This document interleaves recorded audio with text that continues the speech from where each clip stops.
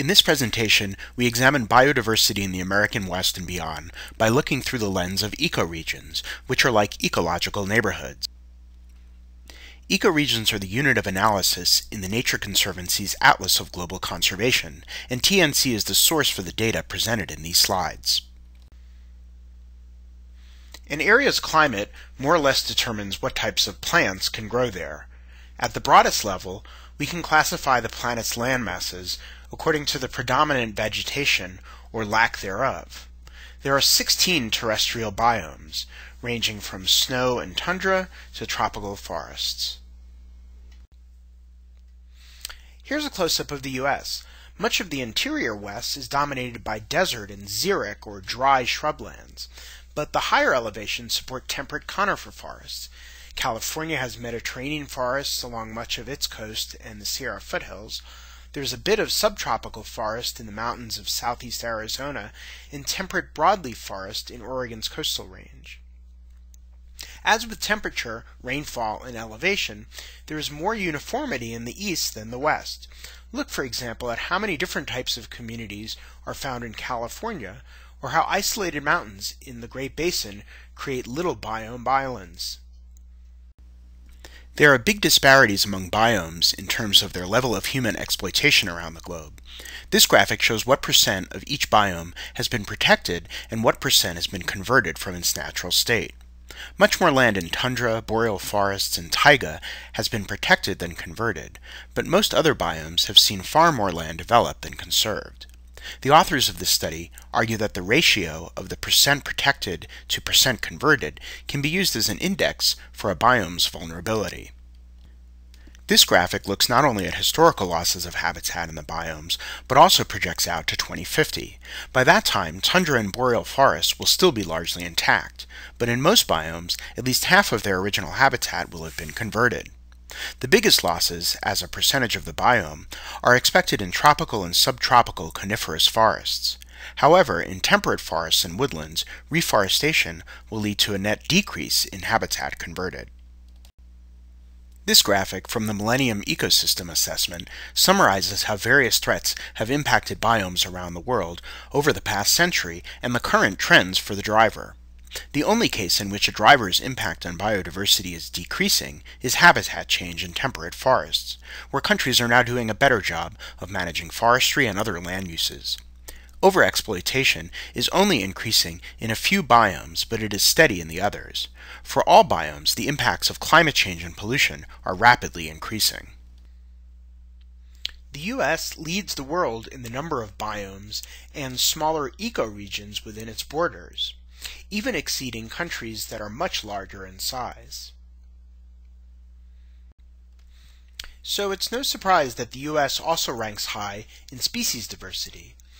In this graphic, the blue bars show the number of species that are found in the US broken down by species type, and the orange diamonds show what percent of the world's species are found in the US and the number in parentheses in the labels on the horizontal axis indicate the U.S. ranking worldwide.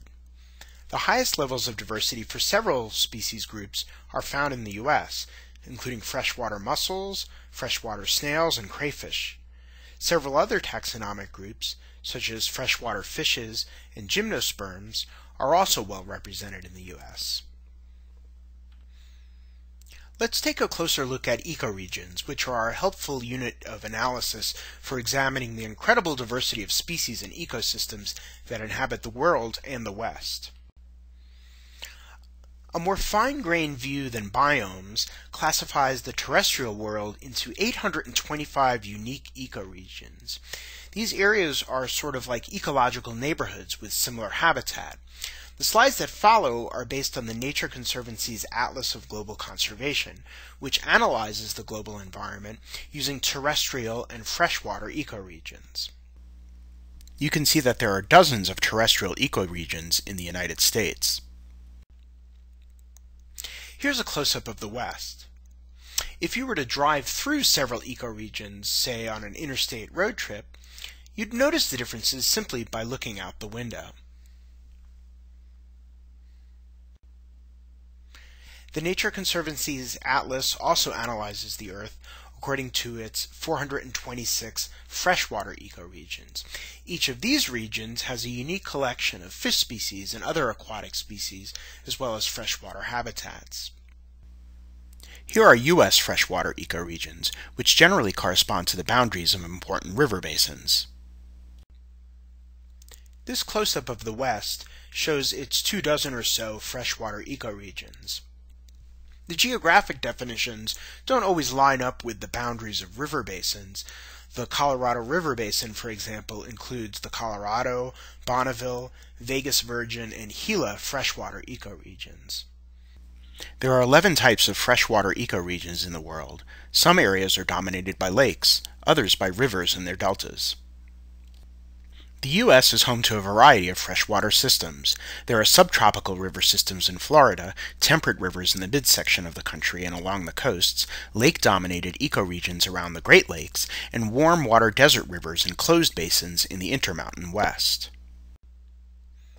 One way to summarize biodiversity is to look at the evolutionary distinctiveness of species in a given location. This map shows the phylogenetic diversity of terrestrial vertebrates, animals with a backbone. Phylogenetics is a measure of how closely related a group of species is. An ecoregion with high phylogenetic diversity has species that are more distinct from one another. The measure is actually calculated by using something called a cladogram, which is what most people know as the tree of life, a diagram that shows how species have branched out due to evolution. Phylogenetics takes measurements in the cladogram to calculate the evolutionary distinctiveness of species, which is greatest around the tropics.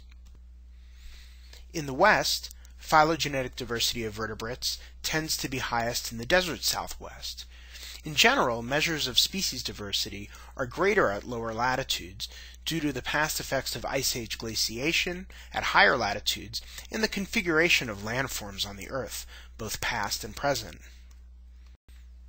Another high-level measure of biodiversity is the number of species that are found in one area but no other place on Earth, what's known as endemism. This map shows the number of endemic vertebrates by terrestrial ecoregion. Endemic species of birds, mammals, and reptiles have typically evolved in isolated habitats, such as islands. Endemism tends to be greatest in the tropics and in places with many islands. In the U.S., the number of endemic vertebrate species is highest in the Southwest and Gulf Coast states. Even arid areas have islands of isolated habitat, such as mountaintop forests surrounded by deserts, that can give rise to endemism. Global hotspots for endemic freshwater amphibians, turtles, crocodiles, and fish include coastal rivers of the high Andes, western India, and East African Rift Valley lakes. In the U.S., Freshwater endemism is greatest in Virginia, the Carolinas, and Georgia. Out west, hotspots include California, Oregon, Utah, and Arizona. The analysis and conservation of biodiversity often focuses on those species most at risk of extinction. This map shows the number of globally threatened animals. Threatened species are those listed by the IUCN Red List as vulnerable, endangered, or critically endangered. Globally, some of the greatest concentrations of threatened vertebrates are in South America and Southeast Asia. About half of the threatened animals are reptiles and amphibians, one quarter are mammals, and one quarter are birds. In the U.S., the Southwest, the foothills around California's Central Valley, and the Southeast and Appalachians have the most threatened animals. The number of globally threatened freshwater mammal, bird, and crocodilian species is highest in the lower Amur River in northern Asia, the lower Parana River in South America, the Ganges, Brahmaputra, and Irrawaddy rivers in southern Asia, and Indonesia's coastal rivers. There aren't many globally threatened freshwater mammals, birds, and crocodilian species in the American West, just a handful along the Southern California coast. Let's take a closer look at certain types of species. This map shows the number of plants by terrestrial ecoregion. Worldwide, there are more than 420,000 of the so-called higher order plants, trees, vines, grasses, fruits, vegetables, and legumes. Deserts and arid lands typically have fewer plant species, while tropical rainforests have the most. But in North America, some drier parts of the inland west actually have more plant species than wetter climes along the coast. Compare, for example, the Great Basin in Nevada to Washington state. The number of mammal species, shown here by terrestrial ecoregion, is highest in the rainforests of Amazon, Asia, and Africa. Mammals tend to do better in warmer climates, though even polar regions have their share. For mammals, the greatest number of species is in the inland west, and highest in the archipelago of Sky Island mountain ranges in southeast Arizona and southwest New Mexico, plus some higher elevation areas in west Texas. The greatest concentrations of freshwater mammal species are in regions with tropical forests and lots of flowing water. In the U.S., most areas have between 4 and 8 freshwater mammal species, but there are upwards of 20 in the Pacific Northwest, parts of the Midwest, and along the eastern seaboard. Birds are found in virtually every terrestrial ecosystem, but more than one third of species have been documented in Central and South America. Other hotspots include the tropical rainforests of Africa and Asia. With birds, the diversity is highest in Arizona, New Mexico, and Texas, with many tropical and subtropical species at the northern extent of their ranges. There are more than 800 freshwater bird species in the world. The East African wetlands have the greatest diversity, with more than 150 species. For freshwater bird species, Texas has the most, but virtually all parts of the country have at least 60 species. The number of amphibian species is highest in warm, humid climates, including the Andes, Brazil, West Africa, and Borneo. For amphibians, the southeast U.S. has the greatest number of species, and an especially large number of salamanders. There aren't as many amphibians out west, but there are still plenty in places that aren't especially wet, such as the Colorado Plateau and Mojave Desert. Scores of amphibian species have already gone extinct, and scientists consider them among the most endangered types of animals. This map shows the greatest number of threatened amphibians are found in the headwaters of the Amazon, in rivers and wetlands in South America's Andes, and along major rivers in southern Mexico, India, and China. Many amphibians around the world are threatened. In the U.S., Texas has the most. There are three to seven such species in California, Oregon, and the Four Corners states. Scientists believe a number of factors are at play in the decline of amphibians. This graphic color-codes the declines according to the key in the lower left. In Asia, where there are many blue dots, the decline is primarily due to the overexploitation of these animals, whereas in Europe and the United States, many of the population decreases can be attributed to habitat loss. But in Central and South America, Australia, and parts of the US, the decline is still enigmatic. That is, habitat conditions are generally good and the species are not being overexploited, yet their numbers are shrinking. Another major factor in amphibian declines is the spread of the chytrid fungus, which has been linked to local and global extinctions. The number of lizards and snakes is especially high in the tropical rainforests of Mesoamerica, Africa, and Southeast Asia.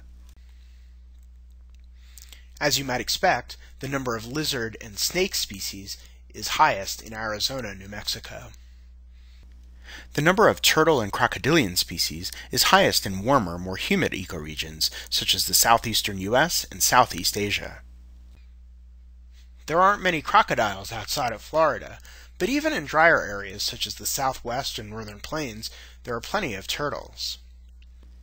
The greatest number of fish species are found along large rivers in temperate and tropical regions, including the Amazon in South America, the Ganges in India, and the Yangtze in China. In the U.S., ecoregions around the Mississippi and its tributaries harbor many freshwater fish species, in some cases five times as many as in western ecoregions. This map shows the number of migratory fish species by freshwater ecoregion. Japan's salmon and the Amazon's catfish help make them centers of fish migration.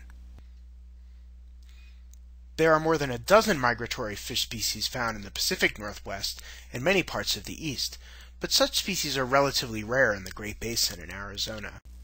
This map classifies freshwater ecoregions by the degree of disruption of fish runs. Dams are the primary impediment to migratory fish.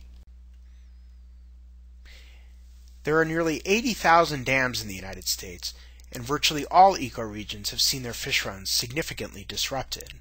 In the West, the problem is especially bad along the Columbia and Colorado rivers, both of which have major hydroelectric dams.